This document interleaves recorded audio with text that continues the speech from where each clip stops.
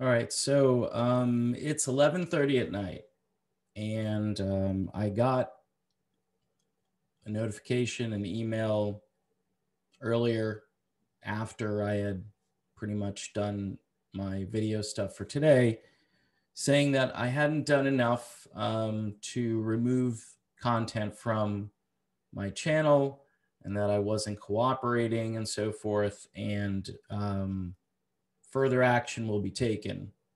Now, I'm literally hanging on by a thread on the channel. I'm one strike away from them shutting the channel down. And there's there's nothing I can do about it. I have no recourse whatsoever in this situation. So I just spent the last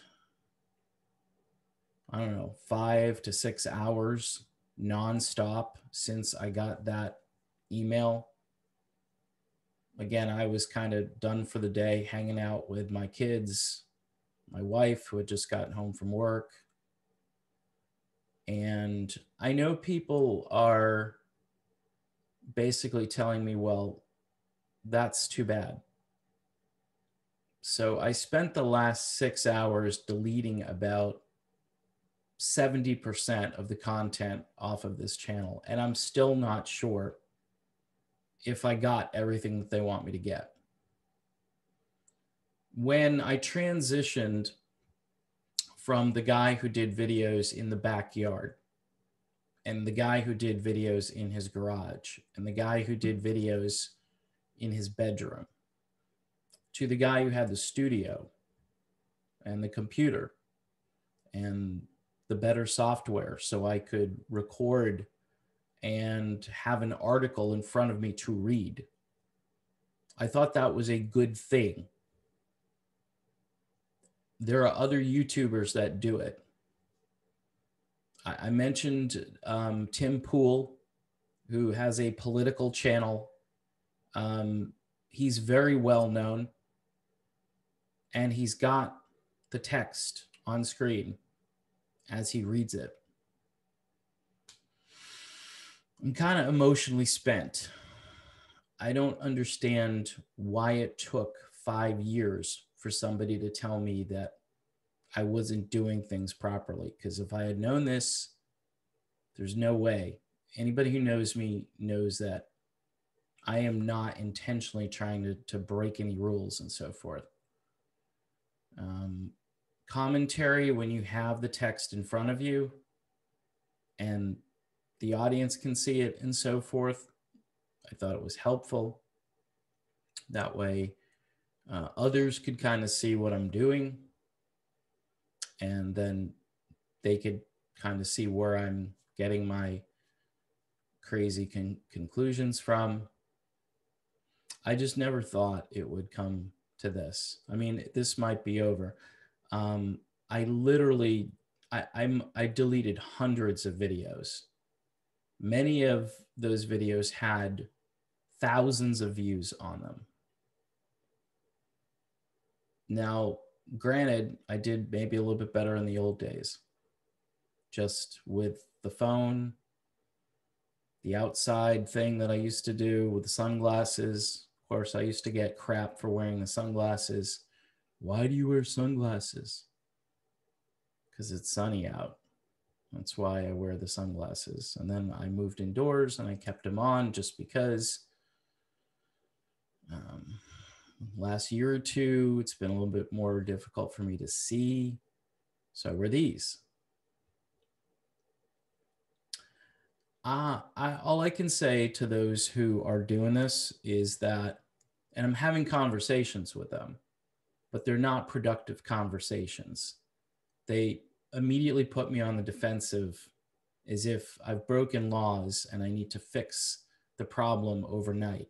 Keep in mind, looking through hundreds of videos, it's literally as if you're looking, you know, for needles inside many, many haystacks. You know, then I have to worry about what thumbnail I put up there thinking that, you know, if it's out on the internet and it doesn't have any sort of licensing to it, well, was told all the split thumbnails with two pictures. Those have to go. I think I got rid of all of them. I'm exhausted. All right. Um, I do this every day. I try to come up with decent content so people will watch the channel. 2020 sucked. Okay. And it sucked for a number of reasons. It sucked because it seems as though the world is just closing in between all the lockdown BS, all the political BS, and the lack of fun, entertainment. And it was tough for me to talk about things in 2020. Uh, I leaned heavily on the media that was coming out, and I put out those videos accordingly. I've been doing this since 2016. So if somebody has a problem with a video I did in 2017 and they're telling me about it in 2021, when I've literally done hundreds of videos since then, maybe thousands of videos since then, I don't think that is somebody who is being fair.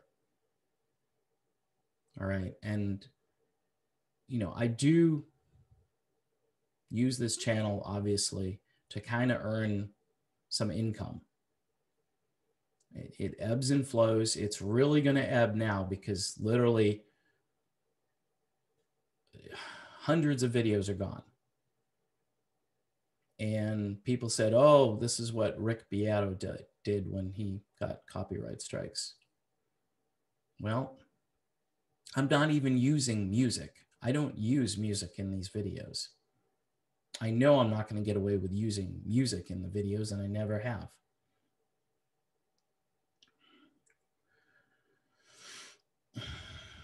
I wish I could just start the channel over to some degree and keep the subscribers, but just start from zero. I was thinking of just deleting everything and just going to zero. But going back through all these videos, all the content that I put up, all the crazy original thoughts I had at that moment when I did the video, you can't recapture that. Do you folks understand that if I did a video June 17th of 2017 and I was in a particular mood about a particular subject and I had an original thought at that moment and it was captured in the video, you can't get that back hundreds of videos have been deleted. It's like history on this channel gone. Some of the videos uh, remain. I, again, I tried to correct the pictures or do no picture. Um, I just need you guys, if you watch this video, to understand that, uh, you know, from the very beginning when I started this channel, and I was getting verbally abused all over social media because I had opinions that might have been contrary or just the fact that I had opinions at all was a real problem for a lot of people. And I'm, I'm a real dude. I don't just say real music. I am. Obviously, tonight I'm emotionally spent. And somebody just keeps saying, okay, that what you did, you didn't do anything.